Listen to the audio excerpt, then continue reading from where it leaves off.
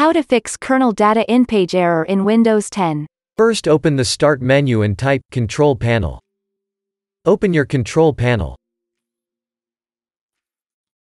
Search for System.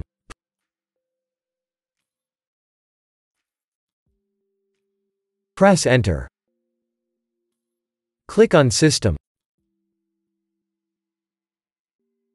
Click on Advanced Options.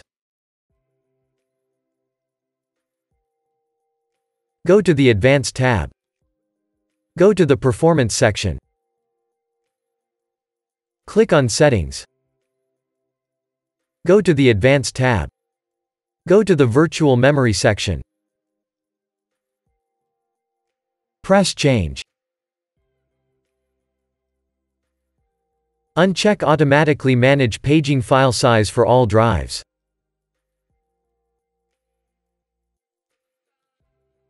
Select No paging file.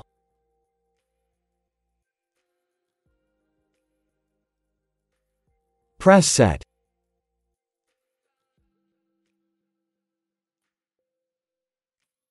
Press Yes. Press OK.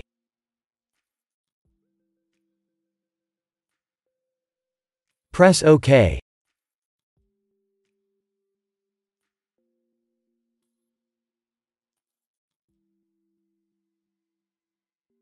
Close your control panel and restart.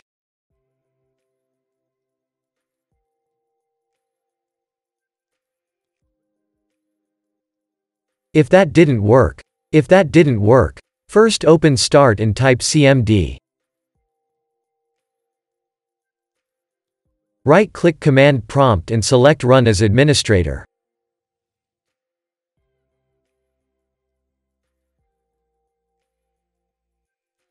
Press Yes. Type the following command and then press Enter.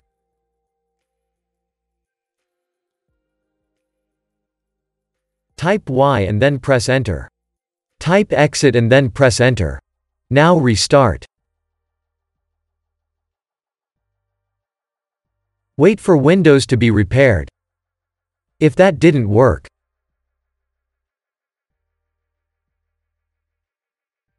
Open Windows Memory Diagnostic. Press Restart now and check for problem. Wait for your PC to be repaired.